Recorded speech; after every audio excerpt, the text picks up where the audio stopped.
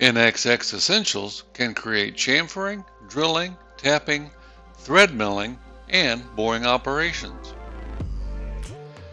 To create a chamfering operation, select it from the option list. Then, choose a cutting tool, cutting plane, and the curves that represent the area to be chamfered. Notice how the curves are highlighted and the operation is keeping track of them.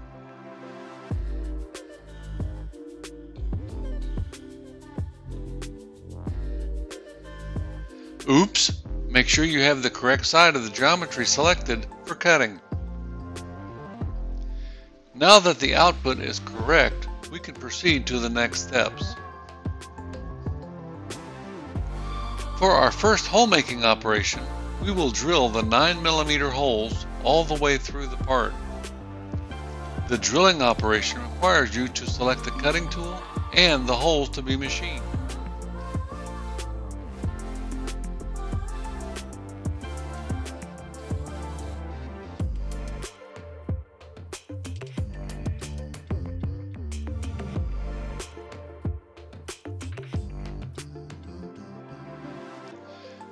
The tapped holes are not through the part, so let's use the measure function to find out how deep to drill them. We can use the view cube to adjust the view and then find the distance from the top to the bottom. The holes are 8 millimeters deep. Very good. Let's proceed to the next step. Now we will drill the two holes in the top of the boss using a 1.8 millimeter drill, remembering to adjust the depth before we OK the operation.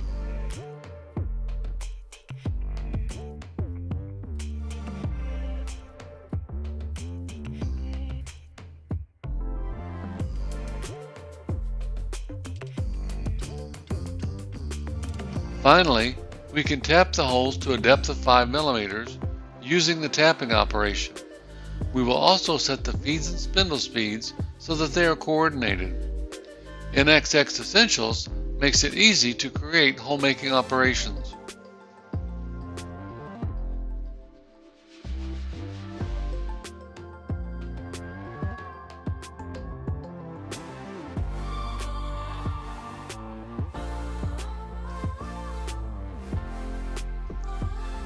We can simulate any operation by simply choosing the Simulate option from the drop-down.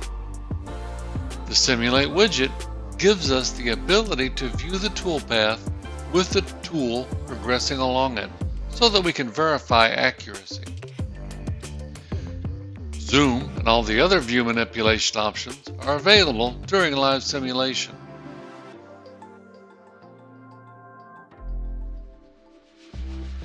That's it. Thanks for watching.